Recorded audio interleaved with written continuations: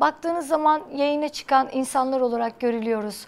E, sosyal medyamızda insanlara eğlenceli fotoğraflar koyuyoruz, videolar koyuyoruz.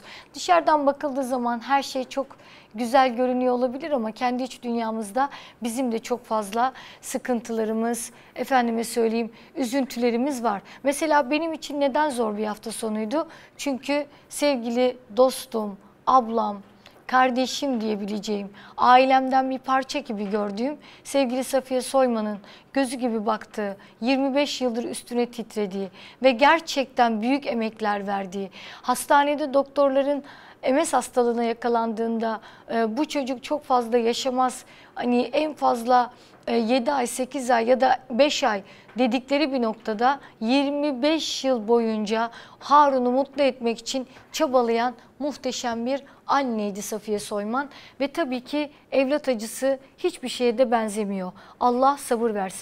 Kimisi işte MS hastasıydı. Zaten çok zor zamanlar geçiriyordu. Solunum yetmezliği başlamıştı ama şunu bilin ki bir anne için evladının gözünün önünde olması, onun gözün içine bakması bile yeterli oluyor. O yüzden o duygu çok başka bir duygu. Evet evlat sahibi olmadım ama yine de bir annenin de acısını e, hissedebiliyorum. Çünkü evrendeki her şeye müthiş bir merhametle bakıyorum. Yaradandan ötürü, yaradandan ötürü yarattıklarını sevdiğiniz zaman onları incitmiyorsunuz. Çünkü onları bir yaratıcının e, yarattığını ve onlara bir yaşam alanı sunduğunu biliyorsunuz.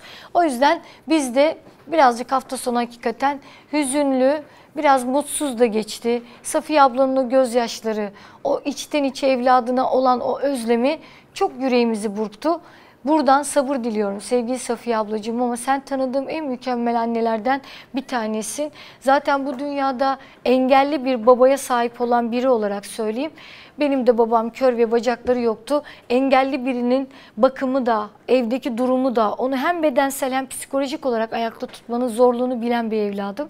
Yeğenim de keza aynı şekilde engelli ve bizimle beraber büyüyor. Onu da çok iyi bilebiliyorum. O yüzden hele sonradan engeli olduysa o çok daha zor hem anne için hem de evlat için. Şimdi bir görelim bakalım Safiye Soyman'ın taziyesi ve katılım bir gelsin bakalım.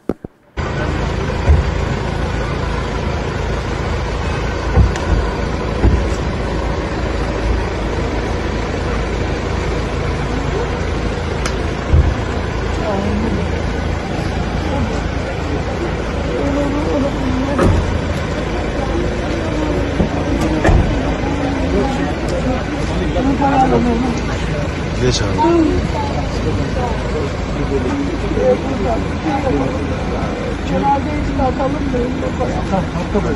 Tamam bakın. Örtüsü vardı onun. Şimdi Örtüsünü geldi mi? Geldi. Hallettim ben. Oraya çeksin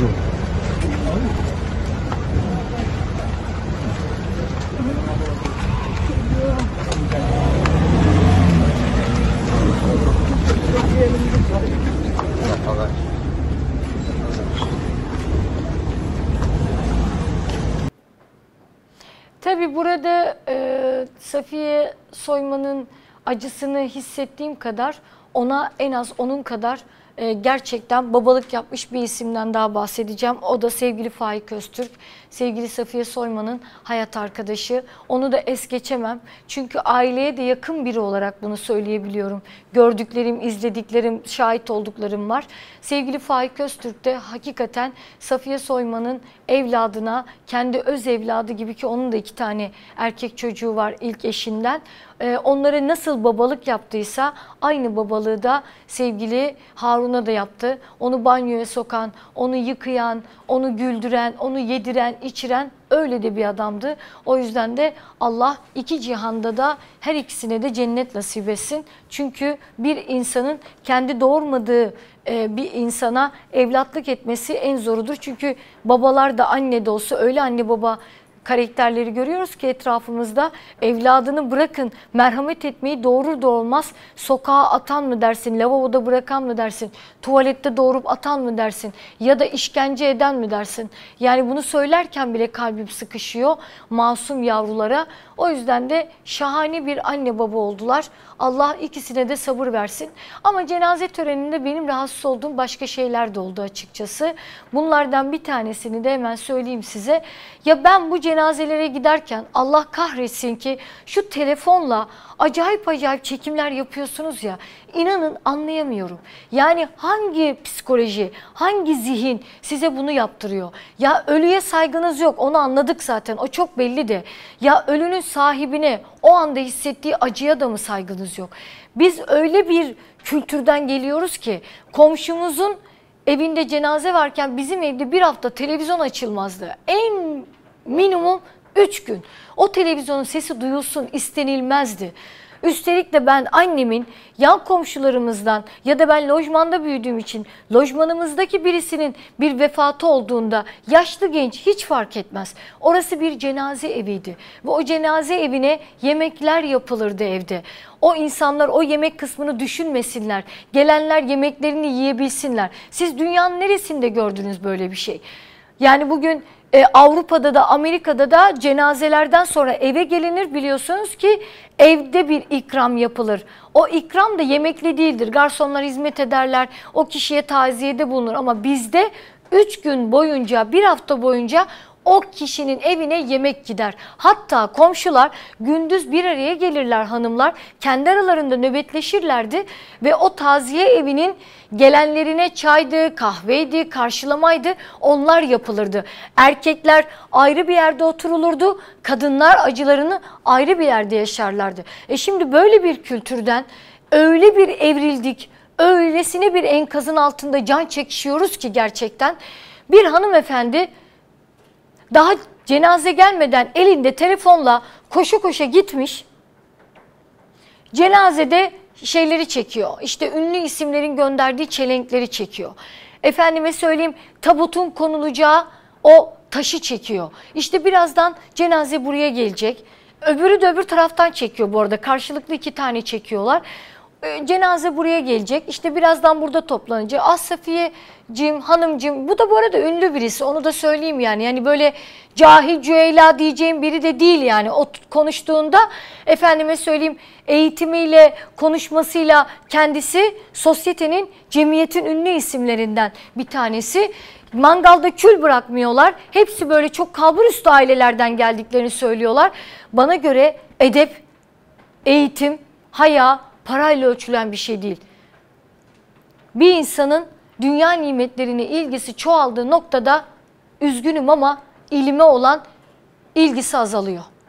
İlime ilgisinin çoğalan bir insanın da dünya nimetlerine ilgisi azalıyor.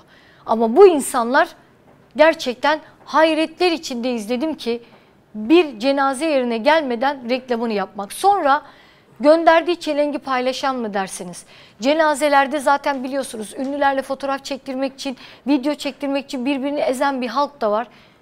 Ya Allah rızası için biz hangi ara bu noktaya geldik? Dünyada yaşayabileceğiniz en büyük acı sevdiğiniz birini kaybetmek. Hele bu aile bireyi ise, canınızdan kanınızdan birisi ise, bu bir evlatsa, anneyse, babaysa, kardeşse, bacıysa ay olacak iş değil gerçekten. Utanıyorum. Onların adına ben utanıyorum. Başka bir utanç daha yaşandı. Her türlü çılgınlığına, her türlü söylemine sempatikle baktığımız bir isim öyle bir taziye, öyle bir başsağlığı paylaştı ki hay güler misin, ağlar mısın dedirtti gerçekten.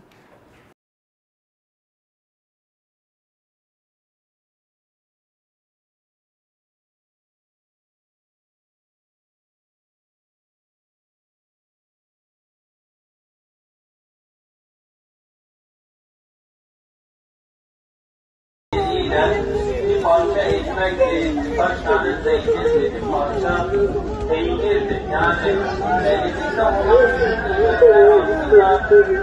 biz onlara emanetçiyiz kardeşler. Yani yiyemedikten sonra, tüketemedikten sonra resim olarak elimizde bulunduruyoruz ama eğer insanlara faydamız dokunursa, o nimetlerle insanları insanlar ise, insanlara faydamız ise ne ala, Müslümlerin elinden tutan ise ne ala, ama bilmeliyiz ki bütün her şeyin bir hesabı olacak, ahirette her şeyin bir hesabı olacak. Cenab-ı Allah öyle bir hayat nasip etsin ki ahirette hesap verebiliriz inşallah. Kardeşlerim, namaz vakti geldi inşallah. Böyle toparlayalım.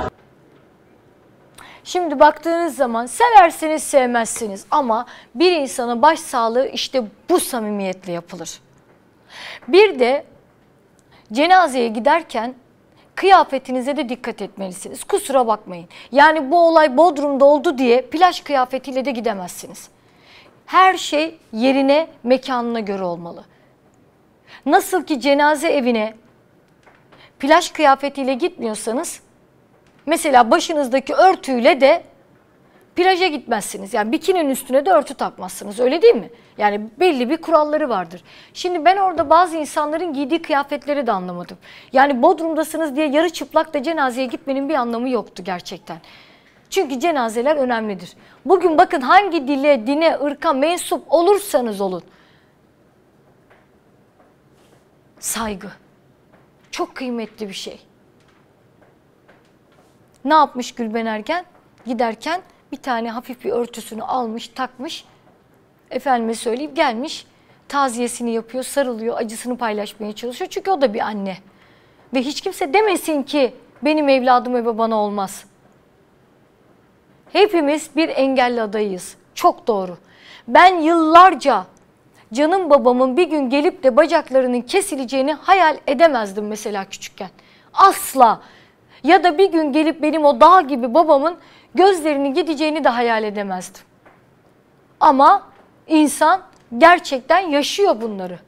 O dağ gibi içeri giren güçlü kuvvetli babanızın küçülmüş bir bedenini görüyorsunuz bir gün hastane odasında. O yüzden de lütfen hiç kimse benim başıma gelmez deyip bir başkasının yaşadıklarına da uzaktan seyirci kalmasın kınayarak. Çünkü herkes bununla yüzleşebilir. Gülben Ergen gitmiş, taziyesini yapmış. Birçok isim de koşarak gitti. Yetişenler oldu. İnsanlar Seda Sayan'ı eleştirmişler de. Arkadaşlar Seda Sayan Amerika'da. Bugün bilet alıp gelmesi bile bir buçuk günü bulur. Yani öyle çok kolay değil. Ama taziyesini yaptı, oradan acısını paylaştı. En azından gidip Miami'de taziyesini paylaştıktan sonra eller havaya bir video paylaşmadı. Kocam da kocam diye bir şey koymadı. Yani uzakta olan birisini bu konuda biraz daha tölere edebilirsiniz. Onu da yerden yere vurmuşlar. Gelmesi gerekirdi diye. Ama gelecek belki de Amerika'da böyle bir durumu yoktu. Çünkü mesafeler çok uzak birbirine. Olabilir böyle şeyler. Onun orada taziyesini sağlar. Ama Banu Alkan'ın yaptığı şey bana göre korkunç derecede çirkindi. Evet sevgili Banu Alkan'ın saf kalbi var, çocuk kalbi var diyoruz ama yani saflıkta çocukla bir yere kadar be kardeşim. Oraya video koyuyorsun. Rihanna'nın müziğiyle baş sağlığı mı dilenir yahu? Dünya güzellerinin videosuyla Evladın baş sağlığı mı dilenir ya? Delirdiniz mi? Sevgili Banu Alkan. İnsanlar size tepki gösterdi diye hepinize dava açacağım diye bir de insanları tehdit ediyorsunuz. Bırakın artık bu Paris kafalarını ya. Geldiniz artık Türkiye'desiniz. Arada bir Paris'e seyahate gittiniz. Uzun yıllar yaşamadınız. Kraliyet ailesinin bir mensubu değilsiniz. Oranın kültürüyle büyümediniz. Burası Türkiye. Ya emin olun ki Avrupa'da, Amerika'da da, Paris'te de, Hollanda'da da, Almanya'da da bir Amerikalı, bir Hollandalı bile birlikte rol arkadaşının, oğlunun, evladının baş sağlığını bile bu müzikle ve bu şekilde koymuyordur. Ya bir de Jennifer Lopez'i etiketlemişsiniz. Kusura bakmayın ama artık bu çocukluk, saflık, iyi niyet falan değil. Bu artık gündemde kalabilme çabasıdır. Ve bunu da hoşgörüyle karşılamıyorum. Kusura bakmayın. Ya bir cenazede şova dönüştürülmez. Ölüm, hastalık, şov olamaz. Düğününüzün şovunu yaparsınız. Doğum gününüzün şovunu yaparsınız. Çocuklarınızın diş buğdayıydı, efendimiz baby shower'ıydı, doğum günüydü, evlilik yıl dönümüydü. Aldığınız arabalarınızın, evlerinizin hepsinin şovunu yapabilirsiniz. Ama bir hastalık, bir de cenaze ve bir acı şov yapılacak bir şey değildir. Kusura bakmayın. Siz kendinizi haber yapmak için, dikkat çekmek için bu tarz paylaşımlar bir de üstelik de cenaze için başsağlığı dileyip bir de düzeltme yapmışsınız. Daha sonra da hikayenizde paylaşmışsınız. Hemen arkasından da yine dünya güzelleriyle ilgili eğlenceli video koyuyorsunuz. Ya ne olursa olsun Safiye Soyman'la birlikte bir rol arkadaşlığı yaptınız orada. Yediniz, içtiniz, bir şeyler paylaştınız yahu. İnsan 40 kat yabancının bile bir şey için iki gün bekler. Ölmezsiniz ya. Nedir bu sosyal medya düşkünlüğü? Bu kadar mı şuurunuzu kaybettiniz? Bir insanın saf kalbi acılara karşı gösterdiği duyarlılıkla ancak ben ölçüştürebilirim. Bugün Allah korusun sizin yakınınızdan canınızdan bir parça ki Rabbim korusun böyle bir şey olsa Safiye Hanım kalkıp da sizi Rihanna müziğiyle yok New York'tu Dubai'ydi etiketleyerek paylaşım yapsa ne hissederdiniz sevgili Banu Alkan? Yapmayın gözünüzü seveyim. İstediğiniz yerde şovunuzu yaparsınız. Sizi seviyoruz biz. Şovla ilgili bir sıkıntımız yok. Ama bu bir cenaze. Ve gerçekten evladına çok düşkün 25 yıldır onu yaşatmak için savaş veren bir anneye böyle taziye yapılmaz. Benden yaşça büyüksünüz saygısızlık yapmak istemem ama benden de size tavsiye ya taziyeyi hiç yapmayın Allah rızası için ya da yapıyorsanız lütfen örf adetlerimize ve karşınızdaki insanların acılarına saygı duyarak yapın ya da hiç yapmayın. Sonra da demişsiniz ki onu ben değil asistanım yaptı. Geçeceksiniz bu işleri. Asistanınız yaptıysa kontrol edeceksiniz. Asistanınızın yaptığına da kesinlikle inanmıyorum. Hiçbir insan evladı bir taziyeyi eğlenceli bir müzikle paylaşmaz. Yüreği merhametli olan, insani kavramlarını yitirmemiş kimse bunu yapmaz. Bu yaptığınız bana göre zalimlikti. Şimdi ben böyle eleştiriyorum diye bazı kesimlerde e canım kadını ne kadar yerden yere vurdunuz vesaire diyecek. Lütfen empati yapın. Benim şimdi burada masa arkadaşım bir tanesi babam öldüğünde onu kalkıp Madonna'nın müziğiyle paylaşsa dalga mı geçiyorsun derim ya. Dünyanın hiçbir yerinde böyle bir taziye mesajı yok arkadaşlar. Kusura da bakmayın. O yüzden de artık ben insanların o çocuk kalpli kötü niyetli değil, o çılgın, o aman deli dolu, o bilim bilmem neyimiz, o deli dümbülümüz, o bilmem neyimiz, o çılgınımız.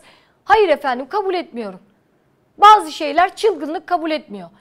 Eğer insanların her türlü şeyine e, çılgındır, delidir, meli diyoruz kesin tedavi olsun o zaman. Hiç hoşgörüyle bakamıyorum. Kusura da bakmayın. Çünkü ben ne olursa olsun Safiye Soyman'ın e, bu tarz şeylere üzüleceğini biliyorum. Evladı onun en kırmızı çizgisi çünkü. O yüzden biraz haddimizi de bilmemiz gerekiyor. Ben de o yüzden Banu Alkan'ın paylaşımından dolayı Banu Alkan'ı çok sevmeme rağmen e, yine de kendisini bu yaptığı şeyden dolayı kınıyorum. Yeri gelmiştir Banu Alkan'a yapılan bazı mobbinglere de kızmışımdır. Özellikle dünya güzellerindeki hepsi kurguydu bu arada. Hiçbiri gerçek değildi. Buna rağmen yine de tepki gösteriyoruz. Haklı haklı, haksız haksız ama burada çok büyük bir yanlış yaptınız sevgili Banu Alkan. Bu söylemlerimden dolayı da bana da dava açmak istiyorsanız açabilirsiniz. Seve seve de gelirim o davaya. Hiç de sorun değil.